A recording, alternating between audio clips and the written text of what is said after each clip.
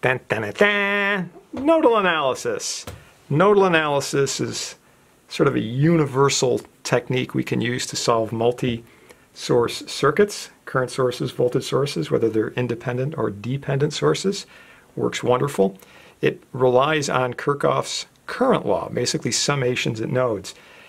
It gives us, when we're all done, a set of node voltages for the entire circuit. So that's a really convenient output, having all of your node voltages. Once you know all of those node voltages, you can find any component voltage or any branch current that you would be interested in. So let's just dive right in here. We'll start with a little voltage source over here. We'll call this ES for source. It's associated with an impedance, complex impedance of um, an inductor. We'll call this JXL1 and a resistor R1. This will then come down through a second inductor Right, we'll call that JXL2. Another resistor, R2. A third resistor, R3. And finally, we have a capacitor over here, minus J X sub C, which feeds into a current source, an AC current source, right? And we'll just call that I sub S. Now the first thing we have to do is identify the nodes in this circuit. So the nodes are basically connection points where currents can split or combine.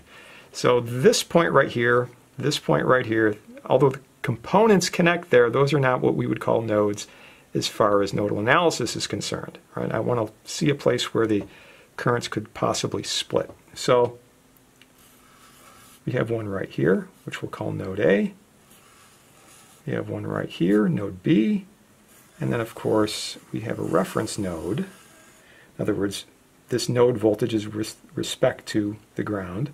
So there's three nodes in here. Now we only um, have to write equations, if you will, for two of them. So if you have n nodes, there will be n minus 1 equations, basically, right? So you have three total nodes, you subtract out the reference node, and that leaves us with two sets of equations. All right, so this is going to require a simultaneous equation solution. You can solve that in your preferred method. So the first thing to do here is to define the individual currents in and out of the various nodes. You can choose a direction that's convenient for you, whatever looks comfortable. Um, it really won't matter, as you'll see, the signs will all work out correctly. So I'm just going to say, right here we have a current number one, uh, we'll say the current down uh, through this inductor, current number 2, uh, through this resistor up here, current number 3, and then down through this other resistor will be current number 4. Of course, the current through the capacitor is this IS current. All right? So now we're going to use Kirchhoff's current law to write a summation, a current summation of each of these nodes, right? So we start off with node A. What do I see for node A? Well, coming in is I1. And then exiting, we see I2 and I3, all right? Now, what is I1, right? I don't know that off the top of my head, right? We know the values of the voltage source, the current source, the resistors, inductors, capacitors, things like that. Those are the component values that we know. Um, the individual currents don't know those, but I can write them in terms of some things that we do know, which would be things like ES and R1 and so forth. So I1 is written in terms of its Ohm's law equivalent. What's the voltage across that pair of components? then divided by that impedance. Right? So the voltage across that is essentially ES minus VA. All right, now that's divided by R1 plus J XL1. Now you might ask, why is it ES minus VA instead of VA minus ES? Well, that's solely because of the direction that we chose for I1. Right? We're flowing from high to low, essentially. So we're going to assume, because we're taking this current from left to right, um, ES minus VA would give us this polarity, right? Plus to minus. That's our assumption. If I had assumed the current was going the other way, then we would say it's VA minus ES. And everything will work out fine because if you were to do this, right, you're assuming the opposite direction, but then these terms would be flipped, so it's a, basically a double negative, all right? All right, same thing I would do for I2. The current through this inductor is simply the voltage across the inductor, which is VA, right, node A to ground, divided by JXL2. And similarly for current number 3, again, flowing from node A to node B, we would say that's VA minus VB to get the voltage, the net voltage across that component, divided by that component, R2. So now, I'm going to substitute these into this equation. Right? So I1 happens to equal ES minus VA divided by R1 plus J XL1, and that has to equal I2, which is VA over JXL2, plus I3, which is VA minus VB divided by R2. Now, the VA and the VB are what we're looking for. Those are our unknowns. So I'm going to rearrange this, collect up some terms and so forth, put my constants on one side of the equal side, and then my coefficients with my unknowns on the other side. So the constant we have over here is going to be ES over R1 plus JXL1.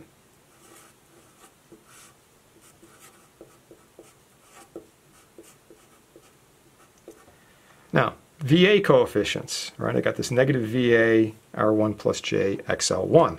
So on this side of the equal sign, right, that's going to turn into 1 over 1 plus J XL1. And then I have this term here, 1 over J XL2. And then finally, we have another one over here, 1 over R2.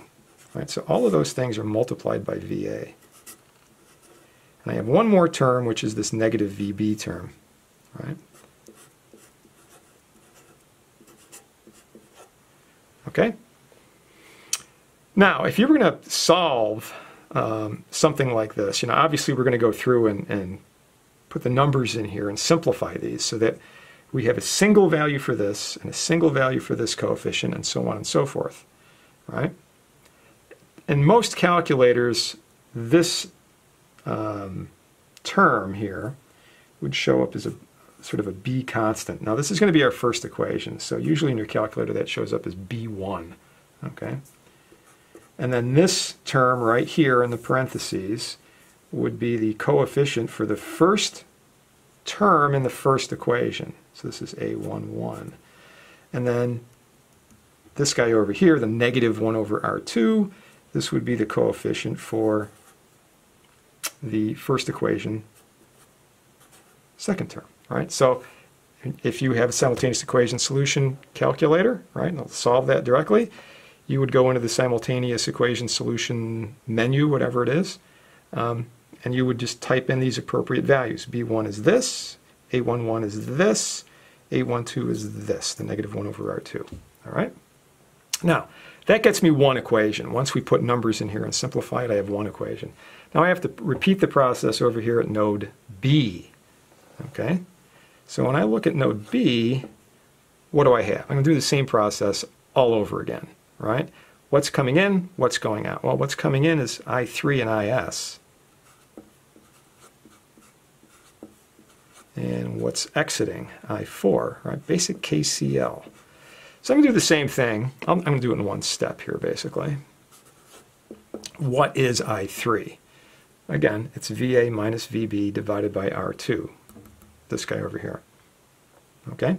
Again, if we had assumed I3 was going this way, it would be VB minus VA. We'd have a double negative. It'll all work out. Okay, so anyway, I3, VA minus VB sitting over R2. Okay, now what is IS? Well, IS is going to turn out to be a constant, right? We know the value of the current source, so I can just put that in there. There's really nothing else I need to do. And then I just have to describe what I4 is. Well, that's going down like this, so we would say that's VB dropping across R3. All right, so the same thing I did over here. I want to simplify this up, get my constants on one side. So we have one constant, which is IS. All right, I have a couple of VB terms over here, right? Um, we've got a, a, negative 1 over R2. Bring this over here. we got a, a 1 over R3 term as well. And then this um, VA over R2 part, also that'll turn into a negative 1 over R2 over here. Okay, so like I said, we had the R2 and the R3.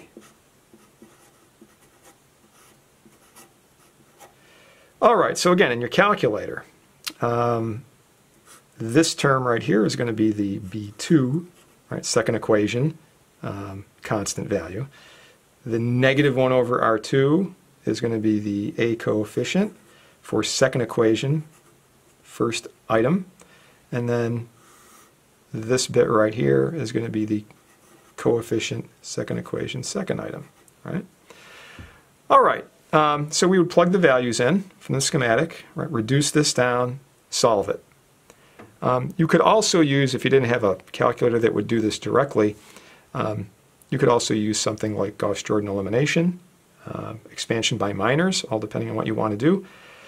This is uh, basically a 2 by 2, so um, you could also use the rule of Sarrus, sometimes called Cramer's rule, to solve this. Um, but once they get bigger, you know, once you start looking at uh, maybe something with four or five nodes, you can't use that rule, and you'll you'll either have to use, if you're going to do it manually, um, Gauss-Jordan or expansion by minors. Um, but however you solve it, eventually we'll come back with some values. In other words, when we solve this two unknowns, VA and VB, right, we'll have values for them, you know, whatever they work out to. Now I can take those values, bring them back into the original circuit, and having known those values, figured out those values, we could say, all right, I want to know what I2 is. Fine, well, I know what VA is. So VA divided by JXL2, that'll get me I2. Oh, I want to find out what the voltage drop across uh, this capacitor is. Well, I know IS. We can do an Ohm's law there. I want to find the voltage drop across this pair of components, right? So um, we take I1 and um, again use Ohm's law on this impedance, R1 plus JXL1, we can find that drop. All right? And all of these things would, of course, have to work. Uh, there is a little bit of an issue, you know, if you're doing this by hand, even if you're writing the equations, you can see there are certainly a fair number of steps here. If you mess up one sign, you know, a minus sign, a plus sign, something like that, um, some ugliness can occur, obviously. You can get some values that are totally crazy. So a way to cross-check your work is to then go back, take the values for VA and VB that you computed in this example, and see if your KVL summation would work. In other words, you would know VA from this computation, right? But KVL, Kirchhoff's voltage law, would say, look, ES has to equal this drop plus this drop. All right? Now, as we said, um, you know, we can we can figure out what this current is. Okay, I have an, an ES and a, and a VA here. So if I if I take that value, determine I1, okay, I know what this voltage is. This current, this current, and this current are going to have to balance out on my original equation. Okay, so in other words, take this current and this current. Now, does this KV, uh, KCL summation work out with this current I3 given the VA and the VB that we've calculated, which will, given R2, tell you what I3 should be. All right? If those things work out, in other words, if, if those two sets of summations agree, then you know you've got the right values. Okay? Now there is one more thing that you can do here, which is to check your two equations. So here are your two equations. And I'll put the little coefficients in there as well. You can look for something called diagonal symmetry. All right. Now I'm going to copy this equation uh, back over here. Okay. So I've got this IS minus 1 over R2 VA plus the 1 over R2 plus the 1 over R3 VB. Okay, oops, that's a B. Um, now, if I made a diagonal across here, okay, like so,